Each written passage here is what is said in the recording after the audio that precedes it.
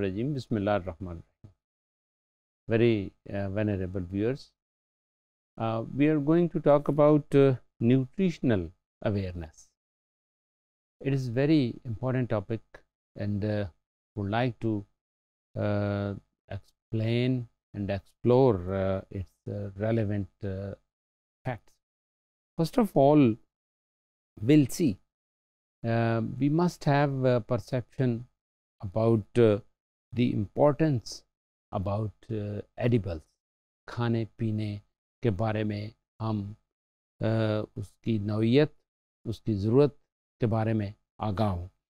اور there should be a balance between the meals یعنی صبح کا ناشتہ اس کے بعد دوپہر کا کھانا پھر رات کا کھانا اور اس کے درمیان کھانا پینا there should be a balance in between all these events اس میں گڈ نیوٹریشن کا ہونا بڑا ضروری ہے۔ کیونکہ ڈیورنگ چائلڈہڈ یہ ایک ایج ہے جس میں فل نیوٹریئنٹس فوڈ کی ضرورت ہے۔ اور بچے کی گروتھ اور ڈیولپمنٹ میں پلینگ ویری امپارٹنٹ رول تو لہٰذا اس کا خیال رکھنا کہ واٹ دے آر ایٹنگ اور پھر یہ ہے کہ with what sequence they are taking in the food and what sort of other foods other than meal they are taking in. اور uh, اس کے بارے میں uh, جنرل جو ایٹنگ ہیبٹس ہیں، اس میں ہمیں اس کا خیال رکھنا ہے اور بچوں کو ایک پیٹرن uh, کے تحت چلانا ہے. یعنی while they are eating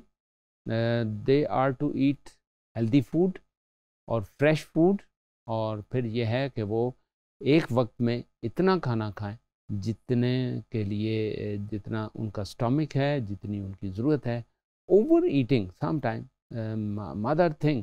کہ زیادہ کھانے میں یہ ہے کہ پھر ان کا اسٹوریج اور اس میں ان کی انرجی تو it is not more useful کہ بھوک سے زیادہ ان کو کھلانا اوور ایٹنگ ان کے لیے پرابلمٹک ہے۔ تو اس سے بہتر ہے کہ ان کو اتنا کھلایا جائے جو وہ آسانی کے ساتھ کمفرٹیبلی وہ ڈائجسٹ کر سکیں اور اس میں پہلے سالوں میں بارل خوراک کو فریکوینٹلی دیا جا سکتا ہے۔ یعنی دودھ ہے تو وہ فریکوینٹ ٹائم میں دیا جا سکتا ہے اور اس طرح سے جو نیوٹرینٹس ہیں وہ دیے جا سکتے ہیں۔ لیکن یہ ہے کہ ایک وقت میں بہت زیادہ دینا وہ اس کے لیے اتنا مفید نہیں، جتنا کہ اس کو وقفے وقفے کے ساتھ اس کو فل نیوٹرینٹ فوڈ جو ہے نا وہ دینا ضروری ہے۔ اس میں ہم یہ ہے کہ بچوں کی بھوک کا خیال رکھا جائے۔ جب اسے بھوک لگے تب اسے کھانے کو ملنا چاہیے، کچھ نہ کچھ چیزیں اس کو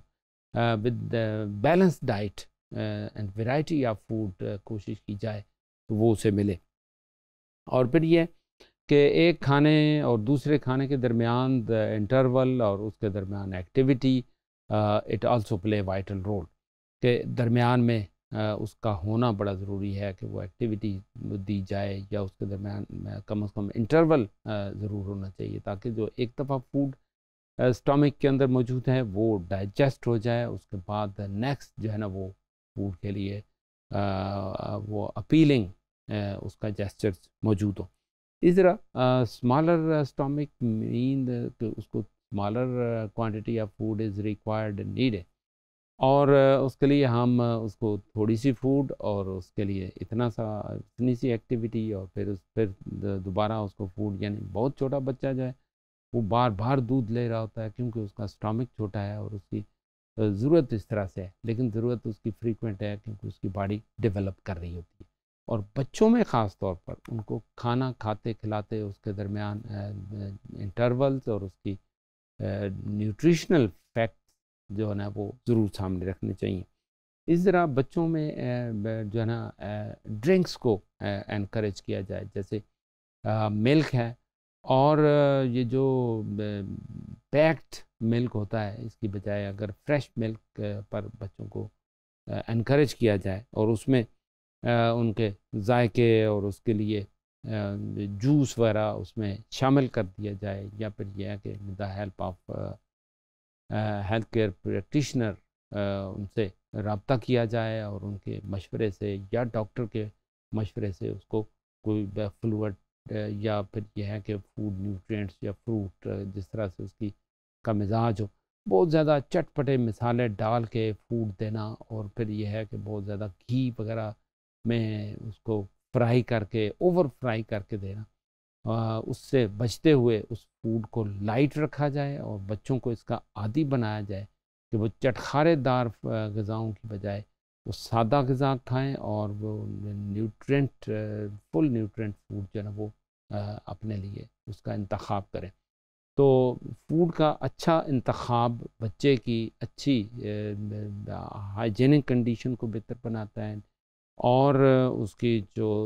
نیوٹریشنل اویئرنیس ہے، اس کو بھی ڈیولپ کرتا ہے کہ how they are to maintain their health and hygienic condition for the self development thank you very much